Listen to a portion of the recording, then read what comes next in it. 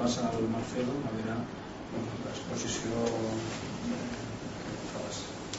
Bé, Alonso és un exemple de, de la frase aquesta de Cruz de que el viatge més meravellós és visitar el mateix lloc per veure amb altres ulls. Nos has llegit quatre vegades el mateix llibre per veure cada vegada coses diferents. Bueno, gràcies per la presentació gràcies a vosaltres per, per estar aquí i sentir-me perquè les explicaré, les contaré que no són tantes reflexions eh, molt eh, estructurades, més bé jo diria que són metàfores metàfores que especialment eh, he anat construint a partir de la experiencia como consultor y por un altre cantó como, como académico. Y la veritat és que he vingut aquí, a Catalunya, fa 19 anys, l'any 90, a formar-me per fer el meu doctorat, després m'he quedat eh, gairebé 15 anys. Doncs la meva formació professional acadèmica especialment va ser aquí, però després vaig tornar al, meu país d'origen, perquè no només és Xile, el meu país també és Catalunya i el Barça. És, és, és un país de gairebé, com ho dèiem fa una estona. Per tant, el, a Xile l'experiència ha sigut molt professional de consultor. Per tant, de consultor en, en temas de gestió pública. Yo tengo una consultora es un buen gobierno y tengo altra que soy yo mateix, perquè ja fa dos anys que estic treballant sol i jo soc la meva empresa que se connecta amb altres empreses per fer coses. Per aquí, per allà, sempre al sector públic. I mai a la meva vida he treballat cap segon de la meva vida per el sector públic, diguem, en el sector públic, perquè el fet de treballar des de fora com consultor. I no només a, a, aquí a, a, a Catalunya, a Espanya i, i Xile, sinó que de, de, de veure del sector públic a altres llocs d'Europa i, i Amèrica en general i molt particularment d'Amèrica. Doncs el que vull parlar avui i serà una xerrada que vosaltres podeu interrompir-me quan vulgueu, eh? encara que tenim una, al final una part destinada no, a intercanviar idees. I probablement li faré jo preguntes a vosaltres, perquè crec que vivim un moment que és més important fer bones preguntes que cercar respostes. I vostè, senyor, em controla el temps que li podria parlar més de la gent. Bueno, el, y la primera metáfora está aquí a la onada aquesta. Jo crec que vivim moments, no només perquè en Xile un maremot, i un terremot, però que vivim en un moment on hi ha un canvi paradigmàtic important. Y la ola, yo creo que refleja una, una mica, ya cambiaré el castellano, català és, no practicar durant cinc anys és més reduït que, que la meva llengua materna. Refleja l'energia que es mou envers el canvi del. I sense que cap de nosaltres pugui veure, ahí hi una bellíssima col·laboració entre molècules d'aigua per formar la. Per una expressió como la vida mateixa, de la col·laboració. I és una metàfora superpotent perquè jo crec, i ja ho dic més endavant, que hem anat construint organitzacions d'esquena a patrons més biològics i que es tot arreu de la naturalesa i que tenen una, una rael eh. La vida és el resultat fruto de la colaboración. Lo que no vol dir que no pugui haver competència, ja, i de fet, el senyor Bonaparte. Hi ha un, un llibre meravellós, que no recordo la que els autors ara, que es diu Cooperative, i és acerca de aquest equilibri entre equip i col·laborar. I ho veiem ara en un global que hi ha s'ha enviat competència també molt d'espai de, de, col·laboració. Com estructuraré la, la presentació que faré? En una primera part jo m'aixecaré, tot, tot el meu dia assegut perquè soc massa inquiet i me posa inquiet quedar-me quiet. m'aixecaré. Eh, en primer lloc parlaré del per què, per què volem organitzacions intel·ligents, que no estem contentos amb les que tenim i volem donar-li aquest atribut, aquesta característica a les nostres organitzacions. Bueno. Després voldria destacar el per què el coneixement és avui important per al sector públic, per les organitzacions que formulen, preparen, incrementen serveis del sector públic. Després, en la tercera part, el que vull parlar és acerca de les noves formes de gestió. Com estem vivint un, un trànsit de forma de gestió on coexisteixen moltes formes. Unes més properes a les antigues, al règim antic, que encara perdura, i altres que estan a l'avantguarda, com el nosaltres referíem al programa compartit, que el que posa en el centre de la qüestió és la col·laboració per optimitzar l'ús del de l'organització. Però també posaré l'accent en una qüestió que em sembla força important, és que el canvi de paradigma no significa la substitució total per un altre, perquè hi ha activitats dins de l'Estat que seguiran sent predominantment i altres que no. El problema és quan gestionem d'una forma determinades activitats que no són òptimes i per tant, per dir d'una forma, haurà sempre serà burocràtica i no cal que fiquem altre tipus, un altre tipus de gestió perquè amb una forma burocràtica de gestió ja és suficient i altres, per exemple, la metodologia de basura de, de, de de de la brossa, gestionant burocràticament com a servei públic seria un error i un altre tipus de gestió de xarxa és una gestió més adient per, per, aquesta, per, aquesta activitat i per últim voldré parlar del desafiament que, que tenim per, per endavant. No hi ha receptes aquí. No és una... perquè no, no, no a fer-lo. Parlo, com he dit abans, de l'experiència, del que he vist, i per tant me centraré en el desafiament que tenen que veure amb, amb totes aquelles coses que anomenem les blandes de l'administració. Més les persones. Més que aquí està la metodologia i el vademècum, el manual de com fer el trànsit de l'organització A envers una organització B. I això no. Fins ara jo no conec i no tinc la, la, la ambició ni vull presumir de, de, de Bé, ahora va a ser el. Ni vos castellano. Bueno, ¿por qué necesitamos una organización inteligente? En primer lugar, para cuando veamos un animal tan sorprendente como el ornitorrinco, no nos sorprendamos.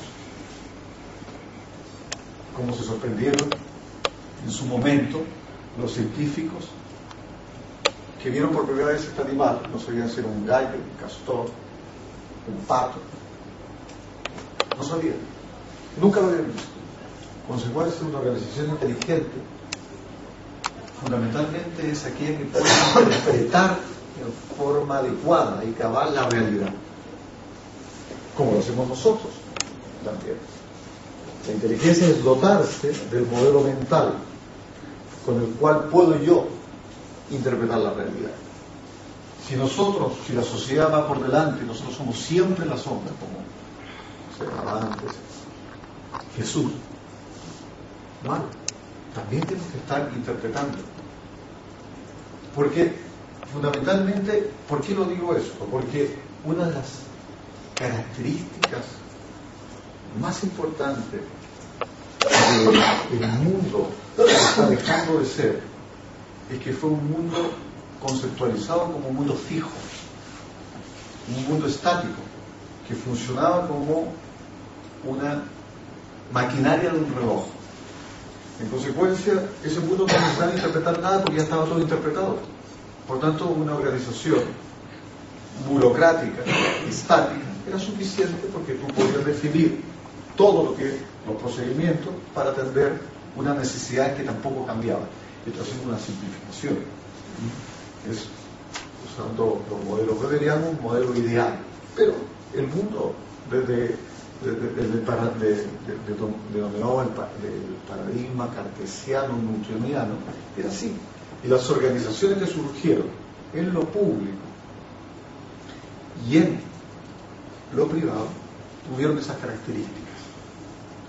La gran diferencia es que en el mundo de lo privado, aquella que no se modificó murió, mientras que el Estado sigue paquidérmicamente existiendo, moviéndose poco a poco. Pero igualmente, la idea de una organización y la idea del Estado no es una verdad inmanética, es un constructo humano. En consecuencia, el Estado que hoy tenemos lo podemos modificar. O las organizaciones que pertenecen al Estado y la forma de gestión que tienen las organizaciones pueden modificarse. Y no solamente pueden, sino que deben modificarse. El Estado se creó hace 250, 300 años. Y ese Estado ha ido también, si lo miramos longitudinalmente, cambiando. Lo que pasa es que el ratio de cambio desde hace 20 o 30 años atrás hacia atrás era pequeño. Las cosas se movían con lentitud, o quizás percibíamos que las cosas se movían con lentitud. Sin embargo, hoy el cambio, como se llama así, el contexto en el cual está inserto el Estado, es un contexto de un cambio constante. Hay un ratio de cambio de un dinamismo muy vertiginoso. Entonces, claro, por otro lado tenemos estructuras muy interdependientes. Luego tenemos por otro lado una ciudadanía que expresa necesidades que también van cambiando. Antes se podía saber lo que la gente quería y el cambio, la necesidad que manifestaba la gente era menor. Hoy día no. Todo, incluso nuestras vidas profesionales. No hay nadie entre nosotros que pensando o haya pensado trabajar y quedarse en un mismo lugar toda la vida. Hay algunos que sí. Probablemente. Bueno, pero los jóvenes, sobre todo los jóvenes digitalizados, probablemente no. Bueno, yo no soy tan joven, años, pero yo he trabajado en muchos más de dos años en un lugar que comenzó a. Por lo tanto, tengo necesidad de volver a la ola. La ola significa el riesgo, el riesgo, pero el éxtasis, estar allí en el cambio. Le explicaba antes a, Jesús que durante el terremoto, que a mí los terremotos, dentro de mi excentricidades, me provocan placer. Un cierto es impresionante, sobre todo es un buen terremoto como fue este, de 8,8 grados el movimiento ese es espectacular.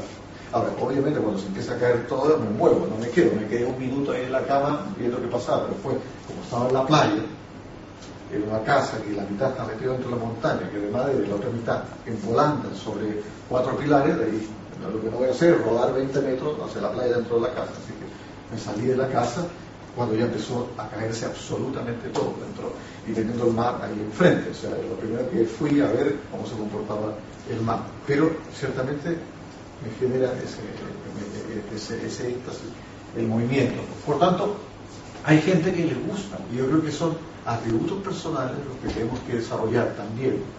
Hay algunos ya vienen dados por la naturaleza cada uno de cómo nos insertamos en una sociedad en donde la incertidumbre es una de las características más distintivas de esa sociedad.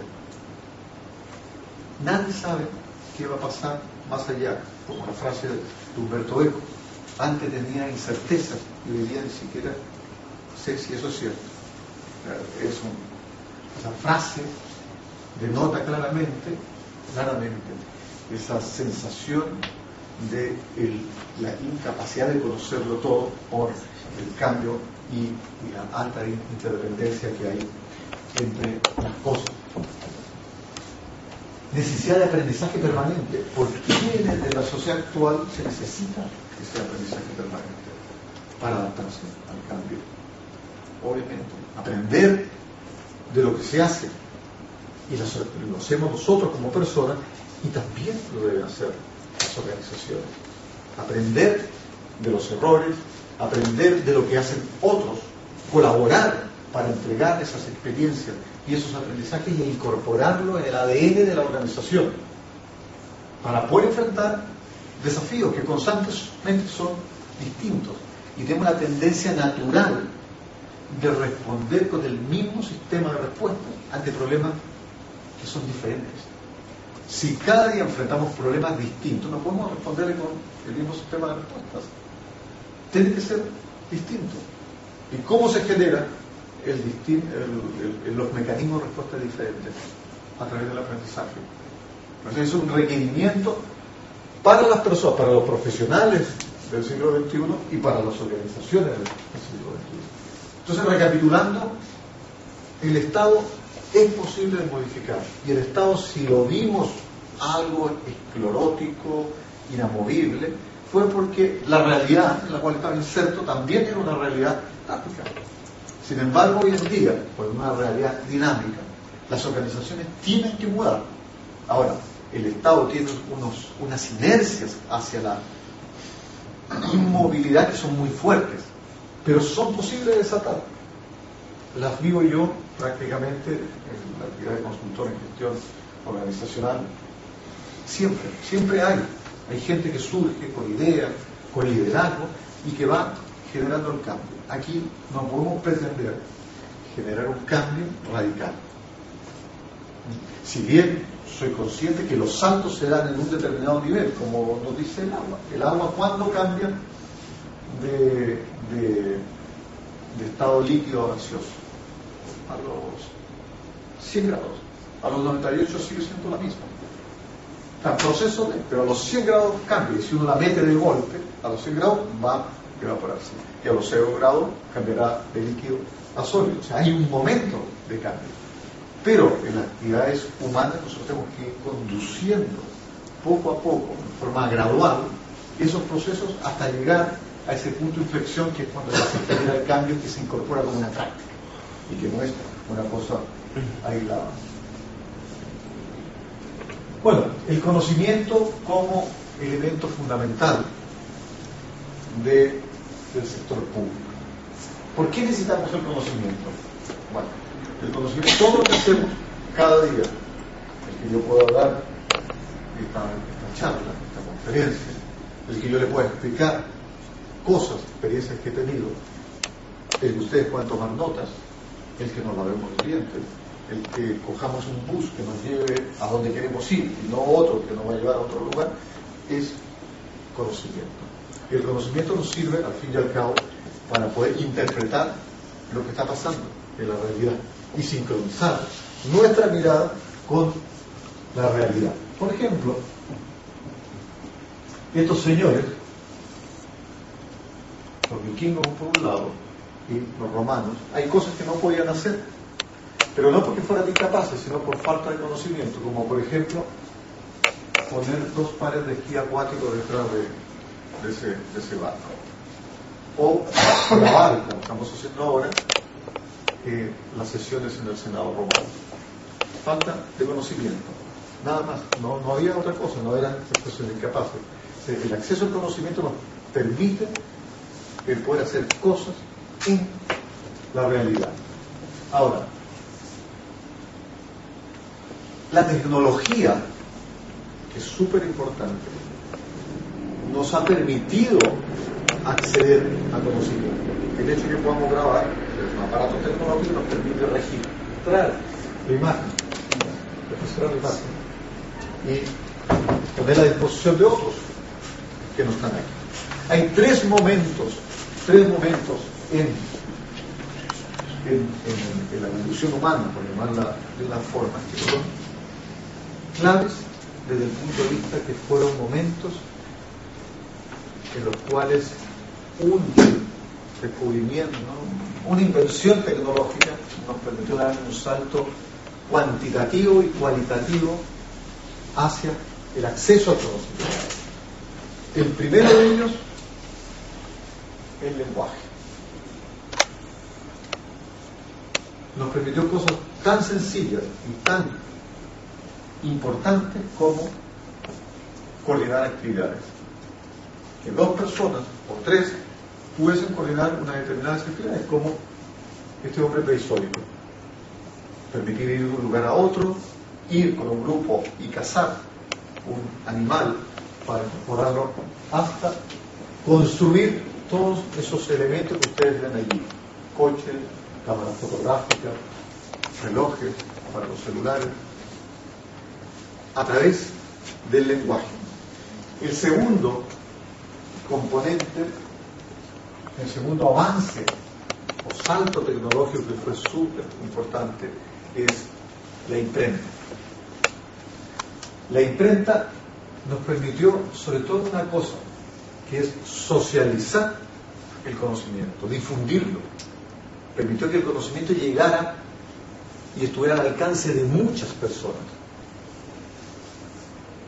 Este es, este hombre, es Hernán Pizarro, en 1600 y pico, en el sitio de Cajamarca, con 100 soldados españoles, venció a 30.000 incas, liderados por Atahualpa Yupanqui. La diferencia, conocimiento. Técnicas de guerra, llevaban otros elementos que permitían también eh, tener un dominio sobre ese pero fundamentalmente fue la estrategia. La estrategia que estaba en códigos, el libro.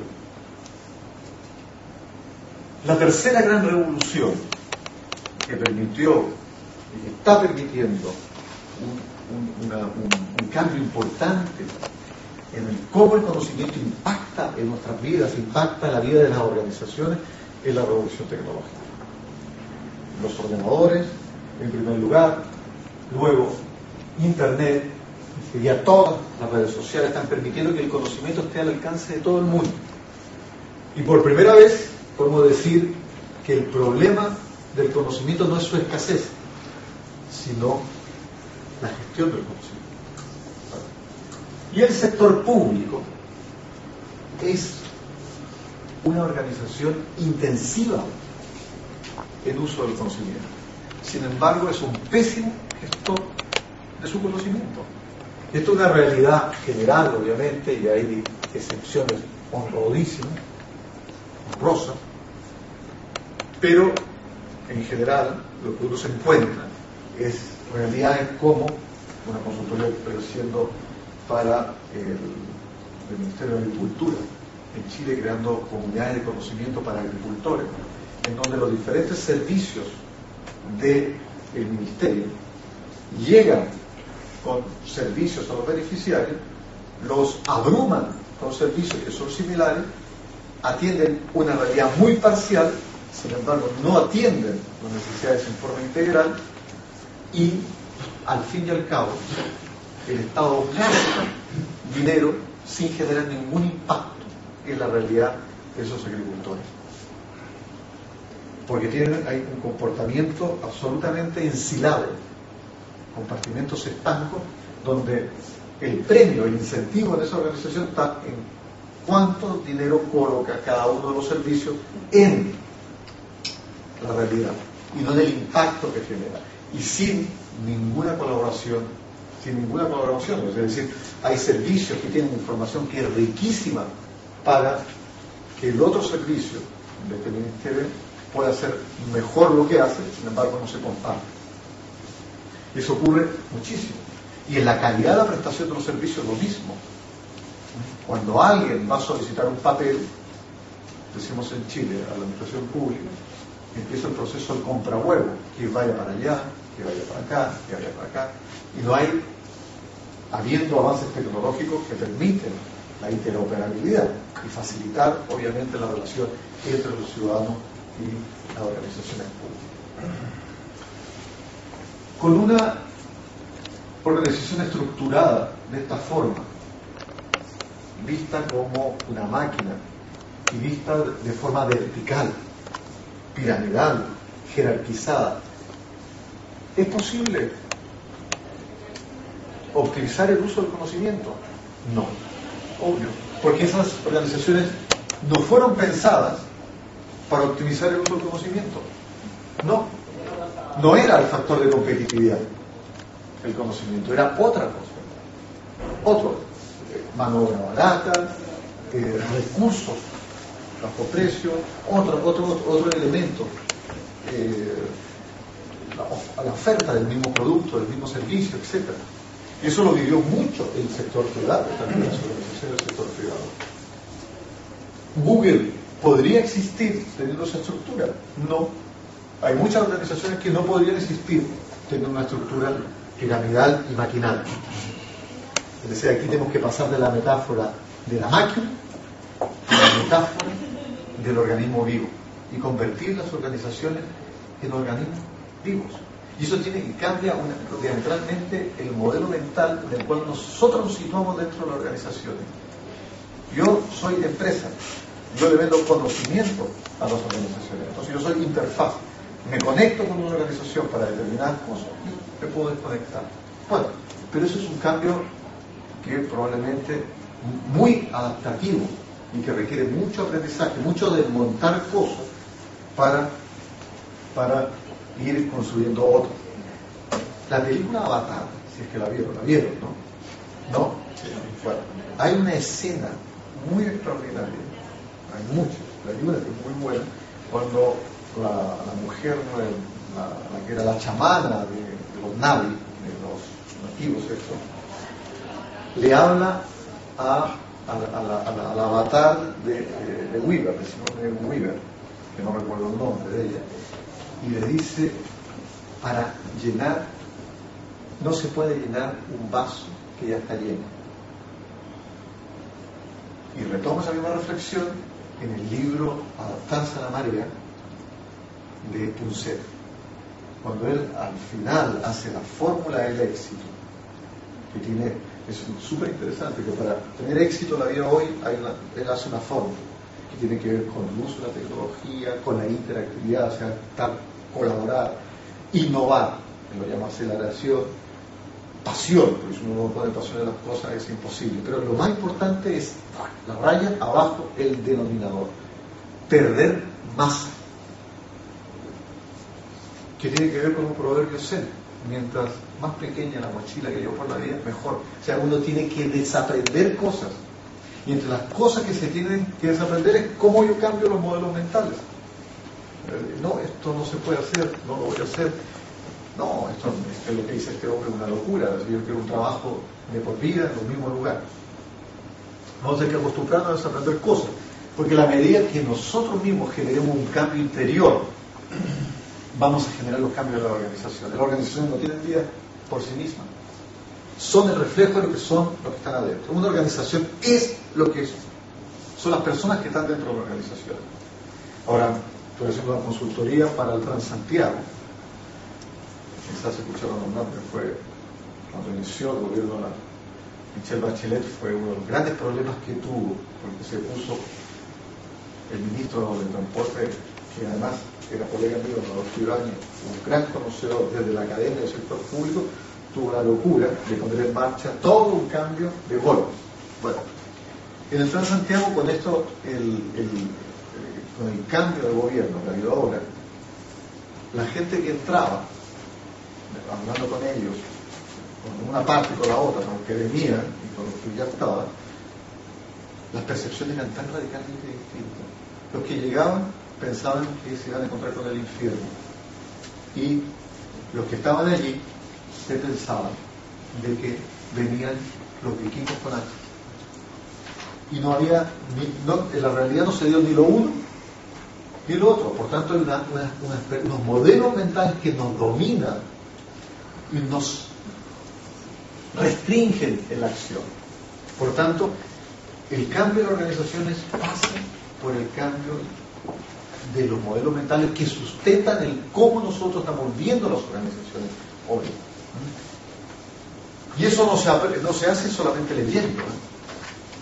Estas cosas hay que interiorizarlas. Interiorizarlas significa pasarlas por el cuerpo, por tanto hay que vivenciarlas. Por tanto, todo lo que sea intercambio de ideas, intercambio de experiencia, qué, has hecho, qué, se ha hecho aquí, qué se ha hecho más allá, foros como el de Learning y otros, ayudan muchísimo para que la gente, por la vía del ejemplo, del cómo lo ha hecho el otro, eh, pueda aprender. Por tanto, claro, una organización de esta naturaleza no nos va a ayudar nunca. ¿Y por qué no? Porque lo que, esto es lo que decía Fayol. Fayol, que es el teórico de la, administración científica. En nuestro esquema no les pedimos iniciativa a nuestros hombres, no deseamos iniciativa alguna. Todo lo que queremos de ellos es que obedezcan las órdenes que les impartimos, que hagan lo que les decimos y que lo hagan rápido. Patrón, comando, control. Eso es lo que ha predominado en las organizaciones. Si eso lo dice el presidente de Google, Page, Google desaparece del mapa. Porque Google se basa en la creatividad de las personas.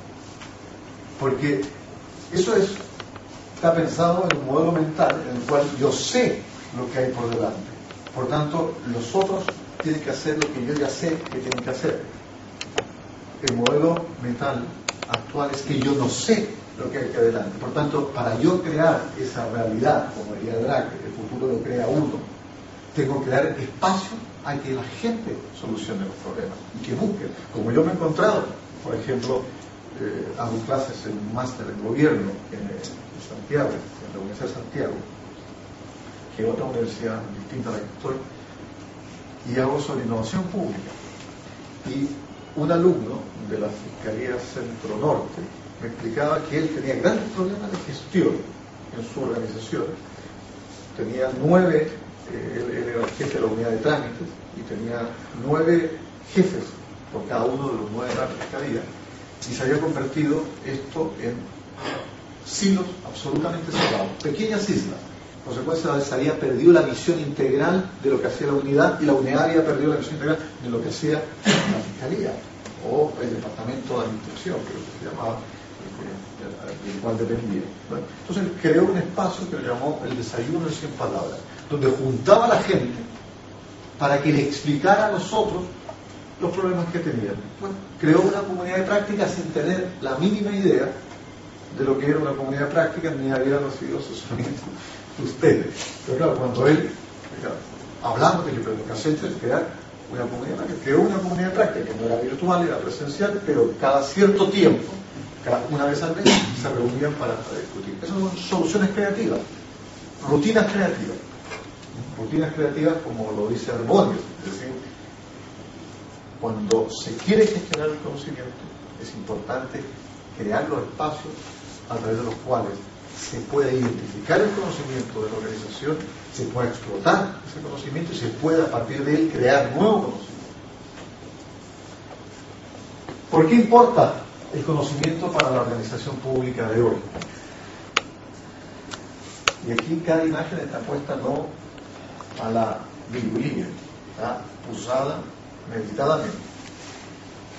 Estas hormigas son insectas sociales, hipertán son insectas cuyas el patrón de, acción que tienen entre ellos es la colaboración, fundamentalmente. Generar inteligencia colectiva. Es decir, ¿para qué queremos la inteligencia colectiva de la organización? Para poder comprender la complejidad de los problemas que nos toca abordar. En su magnífico libro Inteligencia Ecológica de Daniel Goleman, la primera parte es buenísima. El resto es todo un alegato ecológico que comparto 100%, pero para mí la novedad está en la primera parte, cuando señala que dada la complejidad de los problemas del mundo, no hay mente individual que sea capaz de comprenderlo cabalmente. Lo, complejo no significa lo complicado, lo complejo significa lo, que está entrelazado, es, viene de complejo. En consecuencia, entender todos los factores que están vinculados a un mismo problema es muy difícil. La consecuencia se requiere inteligencia colectiva. Imagínense, nosotros e, esta idea se la hemos vendido, entre comillas, a agricultores. Agricultores que la mayoría de ellos no han terminado ni siquiera el ciclo escolar. Y sin embargo, lo han entendido perfectamente. El de la inteligencia colectiva. Y la inteligencia colectiva demanda, obviamente, colaboración para poder construir esa interpretación de los problemas complejos. Y les avanzo que así todo, nunca vamos a poder llegar a comprenderlos del todo, hay factores que se nos escapan. Y por otro lado, hay una cuestión clarísima, que hay ciertas capacidades que no tenemos para poder abordar la realidad. Por ejemplo, ninguno de nosotros es capaz de ver la partícula Higgs que está dentro de esta habitación. Y eso no quiere decir que no esté, que no exista, está pero somos incapaces de sentirla ni de verla, porque fisiológicamente estamos limitados. Menos que alguna organización de alteración de conciencia y podamos ver más realidades que las realidades que podamos ver sin tener la conciencia alterada. Pero eso ya es, otra cosa. ¿Por qué además importa el conocimiento? para generar aprendizaje. Para generar aprendizaje organizacional. La organización pública no aprende, comete el mismo error en general, digo Normalmente es recurrente el cometer el mismo error una y otra vez. Lo importante es el qué hacemos. Hay tecnologías que permiten, y sobre todo hay diseños de la organización que permiten que podamos generar aprendizajes de las acciones que vamos acometiendo. Esa es la idea de lo que vayamos haciendo y cómo vamos aprendiendo. Innovar en servicios. Sin conocimiento es imposible la innovación. Y solo